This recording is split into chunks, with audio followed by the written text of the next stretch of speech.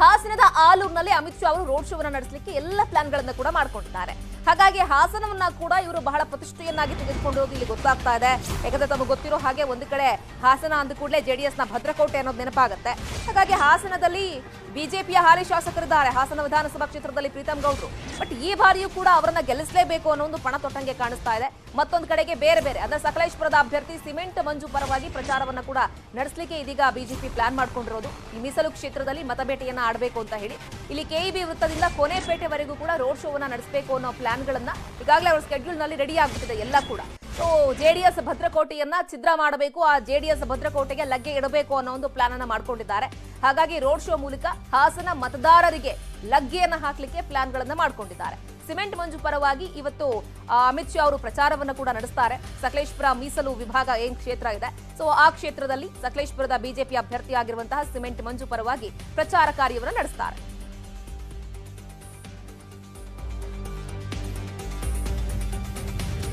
ಇನ್ನು ಮೈಸೂರು ಚಾಮರಾಜನಗರ ಇದೆಯಲ್ಲ, ಈ ಹಾಸನ ಆದ ಮೇಲೆ ಸೀದಾ ಹುಬ್ಬಳ್ಳಿಗೆ ಹೋಗ್ತಾರೆ. ಹುಬ್ಬಳ್ಳಿಯಲ್ಲೂ ಕೂಡ ಶೆಟ್ಟರ್ ಅವರನ್ನ ಮಣಿಸ್ಲಿಕ್ಕೆ ಅಂತ ಹೇಳಿ ತಂತ್ರಗಾರಿಕೆಯನ್ನ ಹಾಕೊಂಡಿದ್ದಾರೆ ಹುಬ್ಬಳ್ಳಿಯಲ್ಲಿ ಮುಖಂಡರಗಳ ಜೊತೆ ಅಮಿತ್ ಶಾ ಅವರು ಸಭೆಯನ್ನ ನಡೆಸ್ತಾರೆ.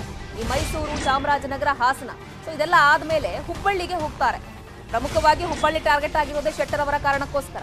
ಸೊ ಹಾಗಾಗಿ ಹುಬ್ಬಳ್ಳಿಯಲ್ಲಿ ಶೆಟ್ಟರ್ ಅವರನ್ನ ಸೋಲಿಸ್ಲಿಕ್ಕೆ, ಆ ಮುಖಂಡರ ಜೊತೆಯಲ್ಲಿ ಸಭೆಯನ್ನ ನಡೆಸಲಿಕ್ಕೆ ಏನ್ ಪ್ಲಾನ್ಗಳನ್ನ ಮಾಡ್ಕೊಳ್ಬಹುದು? ಶೆಟ್ಟರ್ ಅವರನ್ನ ಮಣಿಸೋದಕ್ಕೆ ಏನ್ ಸ್ಟ್ರಾಟಜಿಯನ್ನು ಯೂಸ್ ಮಾಡಬಹುದು? ಈಗಾಗಲೇ ಅವರು ಬಿಜೆಪಿಯಲ್ಲಿ ಸಾಕಷ್ಟು ಎಲ್ಲ ಸ್ಥಾನಮಾನಗಳನ್ನ ಅನುಭವಿಸಿದ್ರು, ಎಲ್ಲ ಸ್ಥಾನಮಾನಗಳು ಸಿಕ್ಕರೂ ಕೂಡ ಕಾಂಗ್ರೆಸ್ಗೆ ಜಂಪ್ ಆದ್ರೂ ಕೊನೆ ಮೂಮೆಂಟ್ನಲ್ಲಿ ಟಿಕೆಟ್ ಸಿಕ್ಕಿಲ್ಲ ಅನ್ನೋ ಒಂದೇ ಒಂದು ಕಾರಣಕ್ಕೋಸ್ಕರ ಅನ್ನೋ ಒಂದನ್ನೇ ಅಸ್ತ್ರವನ್ನಾಗಿಟ್ಕೊಂಡು ಪ್ರಚಾರವನ್ನ ಮಾಡಲಿಕ್ಕೆ ನಿರತರಾಗಿದ್ದಾರೆ.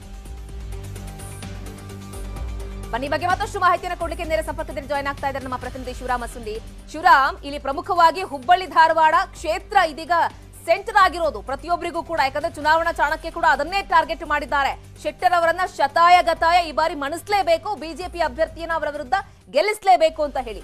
ಪರ್ಟಿಕ್ಯುಲರ್ ಆಗಿ ಆ ಕ್ಷೇತ್ರಕ್ಕೆ ಸಂಬಂಧಪಟ್ಟ ಹಾಗೆ ಏನೆಲ್ಲ ಬೆಳವಣಿಗೆಗಳಾಗ್ತಾ ಇದೆ?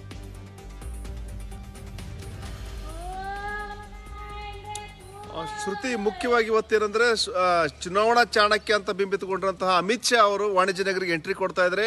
ಮುಗಿ, ಇವರು ಅಂದ್ರೆ ಸಂಜೆ ವೇಳೆಗೆ ಅವರು ಸಭೆ ಮಾಡೋರಿದ್ದಾರೆ ಮತ್ತು ಏನು ಕೇಂದ್ರ ಸಚಿವ ಪ್ರಹ್ಲಾದ್ ಜೋಶಿ ಇರ್ಬೋದು, ಮತ್ತು ಮೊದಲಾದ ಮುಖಂಡರ ಜೊತೆ ಸಭೆ ಸಭೆ ಮಾಡೋರಿದ್ದಾರೆ ಮುಖ್ಯ ಅವರ ಮುಖ್ಯ ವಿಷಯ ಅಂದರೆ ಸೆಂಟ್ರಲ್ ಕ್ಷೇತ್ರದಲ್ಲಿ ಯಾವ ರೀತಿ ಬಿ ಜೆ ಪಿ ಅಭ್ಯರ್ಥಿನ ಗೆಲ್ಲಿಸ್ಬೇಕು ಅದಕ್ಕಿಂತ ಮುಖ್ಯವಾಗಿ ಏನಂದ್ರೆ ಜಗದೀಶ್ ಶೆಟ್ಟರ್ ಅಂದ್ರೆ ಇಷ್ಟೆಲ್ಲ ಅಧಿಕಾರ ಅನುಭವಿಸಿ ಹೋದಂತ ಕಾಂಗ್ರೆಸ್ ಪಕ್ಷಾಂತರಗೊಂಡಂತ ಜಗದೀಶ್ ಶೆಟ್ಟರ್ಗೆ ಯಾವ ರೀತಿ ಸೋಲು ಉಣಿಸಬೇಕು ಅನ್ನೋದ್ರ ಬಗ್ಗೆ ರಣತಂತ್ರ ರೂಪಿಸುವಂತ ಎಲ್ಲ ಸಾಧ್ಯತೆಗಳಿದಾವೆ. ಅಲ್ಲದೆ ಧಾರವಾಡ ಜಿಲ್ಲೆ ಮತ್ತು ಉತ್ತರ ಕರ್ನಾಟಕದಲ್ಲಿ ಯಾವ ರೀತಿ ಚುನಾವಣೆ ಎದುರಿಸಬೇಕು ಮತ್ತು ಕೆಲವೊಂದು ಕಡೆ ಏನಂದ್ರೆ ಈ ಬಿಜೆಪಿ ನೀರಸ ಪ್ರತಿಕ್ರಿಯೆ ವ್ಯಕ್ತವಾಗ್ತಾ ಇದೆ ಮತ್ತು ಬಿಜೆಪಿ ನಾಯಕರು ಸ- ಸಕಾರಾತ್ಮಕವಾಗಿ ಅಂದ್ರೆ ಅಷ್ಟು ಫೋರ್ಸ್ ಆಗಿ ಅದು ಎಲೆಕ್ಷನ್ ಎದುರಿಸುವಂತ ತಯಾರಿ ಮಾಡ್ಕೊಂಡಿಲ್ಲ.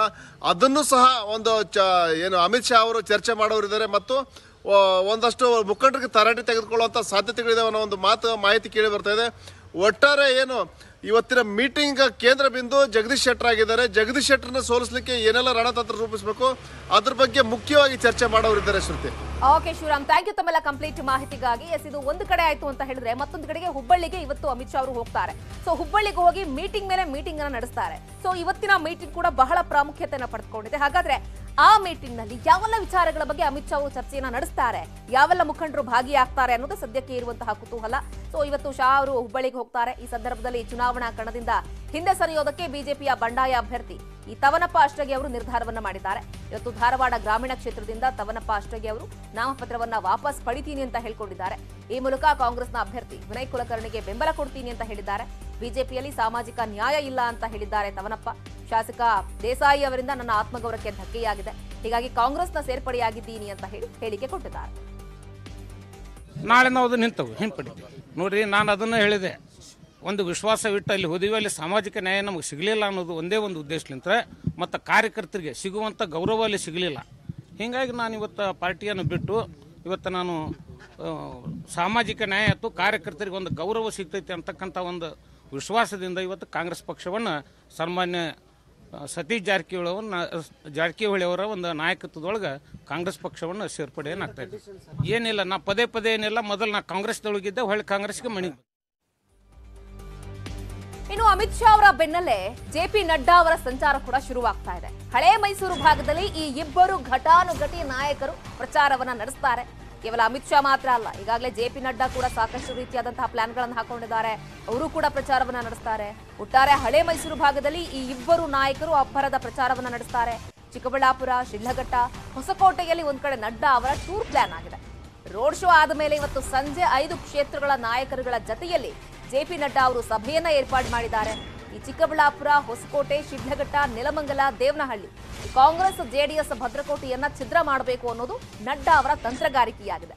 ಇದು ಮೀಟಿಂಗ್ ಮೇಲೆ ಮೀಟಿಂಗ್ ಮಾಡಿ, ಸೊ ಸಾಕಷ್ಟು ರೀತಿಯಾದಂತಹ ಪ್ಲಾನ್ಗಳನ್ನ ಹಾಕೊಂಡು, ಯಾವ ರೀತಿಯಾಗಿ ಚುನಾವಣೆಯನ್ನ ಇನ್ನೇನು ಸ್ವಲ್ಪ ದಿನಗಳ ಇರುವಂತಹ ಸಂದರ್ಭದಲ್ಲಿ ಎದುರಿಸಬೇಕು ಅನ್ನೋ ತಂತ್ರಗಾರಿಕೆಯನ್ನ ಇವತ್ತಿನ ಮೀಟಿಂಗ್ನಲ್ಲಿ ಮಾಡ್ತಾರೆ.